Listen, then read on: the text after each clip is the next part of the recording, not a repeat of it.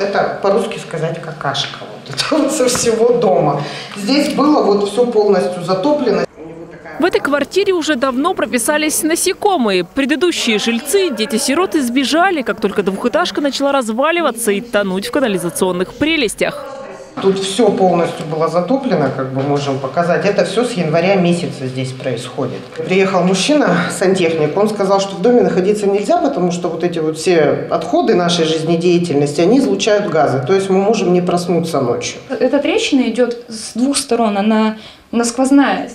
Стены расходятся, полы проваливаются, потопы каждые три месяца. Причина ливней на поверхности – канализационная труба в землю не закопана. Именно независимый эксперт приезжал с Барнаула, он сказал, что это нарушение очень сильное, потому что труба как минимум 2, 2,30 должна закопана быть, а по факту 27 Наклона сантиметров. нет. Мы пытаемся, мы звоним, пишем, как-то помо- что решить как-то этот вопрос, потому что действительно и дети, и, сами, и самим комфорта никакого нет. Сколько мы писали, сколько звонили, то есть результатов нету. Управляющей компании у дома нет. От проблемной двухэтажки все открестились. Сейчас она на балансе регионального жилищного управления. О бедах жители там знают, помогают. Назначили строительно-техническую экспертизу.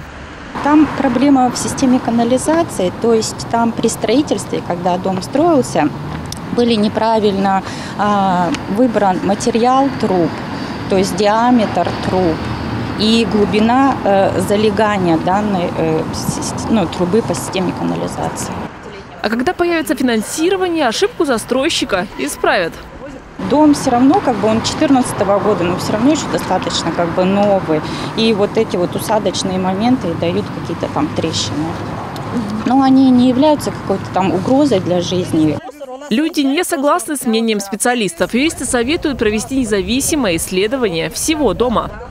Если в результате специальных исследований будет установлено, что данное жилое помещение непригодно для проживания, то, соответственно, региональное жилищное управление обязано будут расторгнуть договор и предоставить другое жилое помещение э, данным гражданам. Если этого не произойдет, жильцам можно обращаться в суд либо в прокуратуру. По опыту юристов, после вмешательства надзорных органов дела решаются в разы быстрее. Валентина Аскерова, Алексей Фризин. День с толком.